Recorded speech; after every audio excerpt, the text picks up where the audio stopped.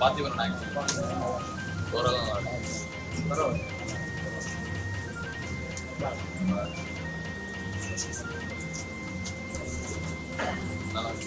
கொஞ்சம் தான் அடிக்கடி கொஞ்சம் கதை நல்லா இருக்கு. மற்றபடி என்ன கதைனே புரியல ஃபர்ஸ்ட் யார் ஹீரோன்னு தெரியல. ஹீரோயின் யார்? இந்த எல்லாம் ஆண்டியா இருக்காங்க. ஒண்ணுமே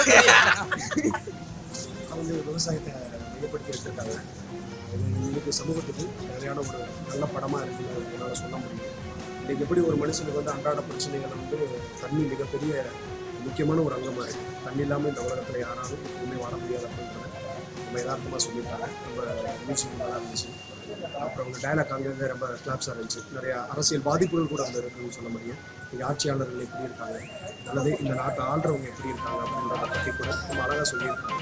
சில இடங்கள்ல அங்கங்கே தொய்வுகள் இருந்தாலும் ஓவராலாக பார்க்கும்போது இது இன்றைய சமூகத்திற்கு தேவையான ஒரு நல்ல பஸ்ஸெல்லாம் வந்து வேஸ்ட் எழுபது ரூபா வேஸ்ட் தண்ணியை மையப்படுத்தி ரொம்ப மட்டமா இருக்கு சத்தியமா. பார்க்கவே ஒரு இன்ட்ரெஸ்டே இல்லைண்ணா ரொம்ப போரா போகுது. அவங்க என்ன சொல்ல வராங்கன்னு ஒன்றும் புரிய மாட்டேங்குது.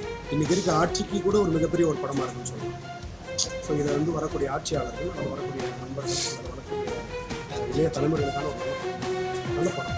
படம் எனக்கு அதுனே ஒன்றும் புரியல நான் கட்சி வரல இவ்வளோ நேரம் பார்த்தது வேஸ்ட்